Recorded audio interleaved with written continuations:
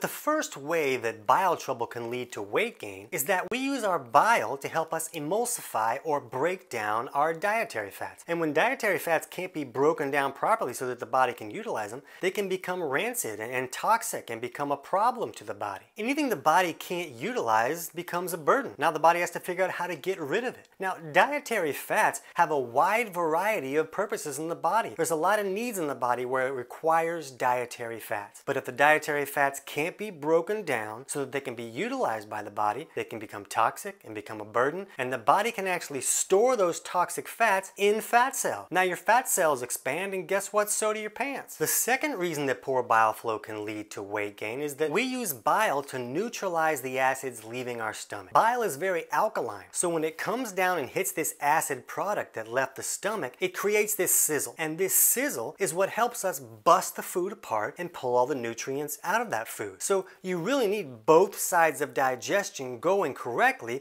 to create that sizzle, to bust the food apart and get all the nutrients out. If you don't have that sizzle, you're not getting all the nutrients out of your food, which is going to lead to nutrient deficiencies.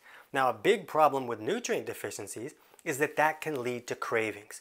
Cravings are a signal that your body's saying, hey, I, I need more stuff. I'm not getting the stuff that I need. And the problem is that a lot of times cravings mean that we're going to give in to more sugars and carbs. Problem number three, the liver is in charge of converting our T4 into T3 so that that T3 can be used by the thyroid. That's just one of the liver's jobs. But when the liver's overwhelmed because it's doing all this work, removing toxins, but the toxins aren't being taken out the back door, now it has to focus more on this toxic environment. It can't do all the jobs that the liver is intended to do. So when it can't convert enough T4 to T3, now the thyroid will lean towards the hypothyroid. And the thyroid's not going to function correctly and it's going to slow down our metabolism and lead to weight gain.